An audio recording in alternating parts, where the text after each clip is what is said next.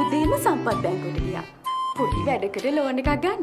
වැඩි කතන්දර නෑ. වැඩේ කෙරුණා. එයා රටේ ඉඳන් සල්ලි එව්වෙම සම්පත් ඊරමිටන් සරහනේ සල්ලි එවපු රෙකෝඩ්ස් බැංකුවේ තියෙනවලු. වැඩේ ලොකුවටම කළා. සම්පත් ඒ රෙමිටන්ස් සීතක්කටත් කියන්න ඕනේ